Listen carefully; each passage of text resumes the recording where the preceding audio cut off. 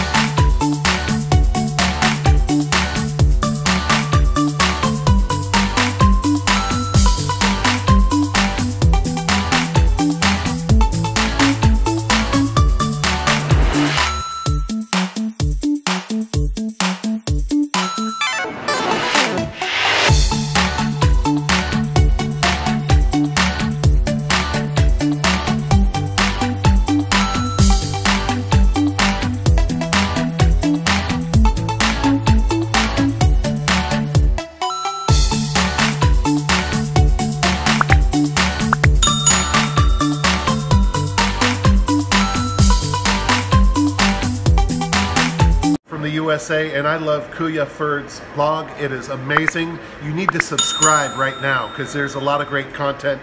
It's going to be inspirational. It's going to brighten up your day. So see you there.